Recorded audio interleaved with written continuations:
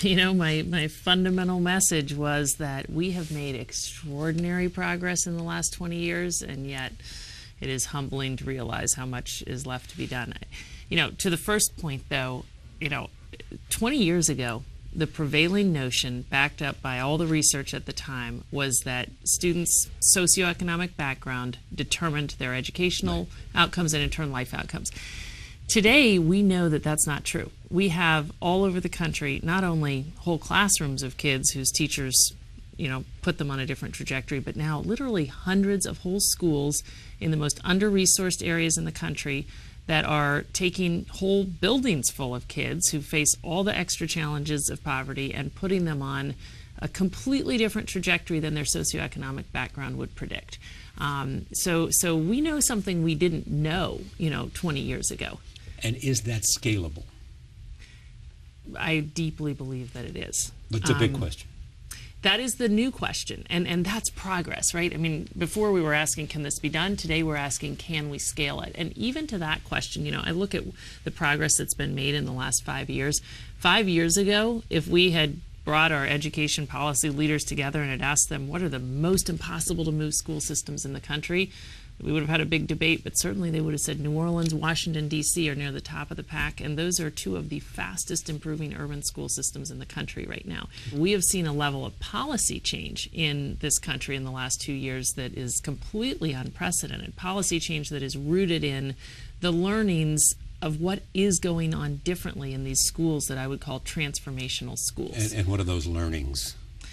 You know, I think always, so I think about you know, a school, say North Star Elementary School in Newark, New Jersey, right? Now, I walk down, th this, this school is taking its students who are almost all receiving free and reduced price lunch, you know, African American students, students who are coming in, you know, significantly behind and it's putting them, I mean, it's literally, this is one of the highest performing elementary schools in the whole state of New Jersey, irrespective of, of economic background of the kids.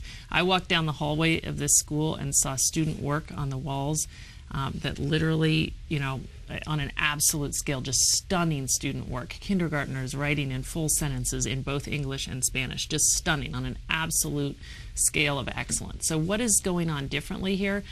There's a school leader, uh, Julie Jackson, who has embraced a different mandate for public school than most of our public schools have. I mean, most public schools, most private schools, most schools in general view their mandate as to put learning opportunities in front of kids. In this case, the mandate is different. The mandate is literally we're going to change the educational trajectory of our, our kids and, and in mm-hmm. turn their life trajectory. And this school leader is bound and determined to do whatever it takes to accomplish that end. And she does what any great leader does when they're trying to accomplish very ambitious outcomes, which is, first of all, she fixates on attracting and developing an incredibly talented team, the hmm. other teachers, the staff in her schools. It's her top priority. She does so much to build a powerful culture of achievement in that building. Just like a great leader builds a powerful culture, she manages aggressively and then she does whatever it takes. She takes nothing as a given other than the end goal. So, so the point is that you know, one, we need to embrace a different mandate for what our schools in low income communities should accomplish. And then we need to realize this is going to take the same level of leadership, energy, discipline as it takes to accomplish extraordinary outcomes, really, in any endeavor. I mean, one thing that you are saying, and you say in this book, is this notion that you need better teachers. Yes, but that's not enough. Right. You need a culture, you need a system, and you need leadership yes. uh, that extends throughout the building yes. and throughout the system. Yes. Join us online at charlierose.com.